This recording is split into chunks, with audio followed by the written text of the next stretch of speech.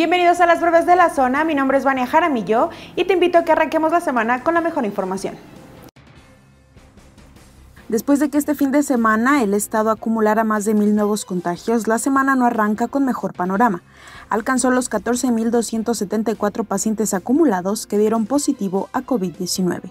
Este lunes, de acuerdo con la Secretaría de Salud de Guanajuato, se confirmaron 419 nuevos positivos. León, Salamanca e Irapuato son los tres municipios con más casos. Lamentablemente, el estado también perdió 13 personas más a causa de coronavirus. Irapuato tuvo más decesos al registrar 5, León y Cortázar dos decesos cada uno, mientras que Comonfort, Guanajuato, Silao y Villagrán uno cada uno. Con estos fallecimientos, la entidad ha perdido durante la contingencia 809 personas. El tráfico vehicular nos hizo esperar con la inauguración del carril emergente en el Boulevard López Mateos en León, con el que se espera que los ciclistas tengan una opción de movilidad que respete la sana distancia en demanda a la contingencia sanitaria. Este carril emergente abarca desde el Boulevard Francisco Villa hasta Campestre, del lado derecho de esta vía, donde también circula el sistema integrado de transporte.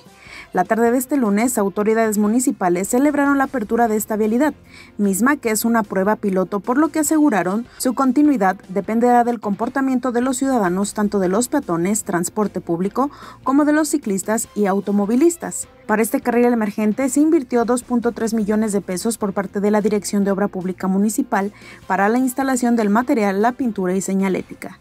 No obstante, desde el Boulevard Campestre hasta la zona centro se apreció tráfico vehicular y los automovilistas no tomaron a bien la instalación de este carril.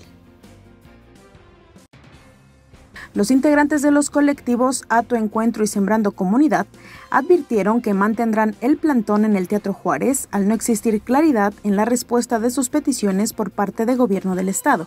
El domingo por la tarde y luego de cuatro días de exigir una reunión con el gobernador Diego Sino y Rodríguez Vallejo, finalmente los atendió. Sin embargo, no se llegó a ningún acuerdo entre las partes. Por lo que este lunes por la tarde los familiares de personas desaparecidos que integran estos colectivos entregaron un documento en el Palacio de Gobierno donde señalan que mantendrán el plantón mientras no tengan claridad y formalidad con las peticiones. Durante la reunión de este domingo, Rodríguez Vallejo solo se comprometió a revisar el proceso de selección de Héctor Díaz Esquerra como el titular de la Comisión Estatal de Búsqueda, pero los integrantes de los colectivos reiteraron que es necesario que se reponga el proceso. Los familiares también señalaron que Diego Sinue no realizó la disculpa pública que exigieron por la represión de la que fueron víctimas por parte de elementos de las fuerzas de seguridad pública el pasado viernes por la mañana.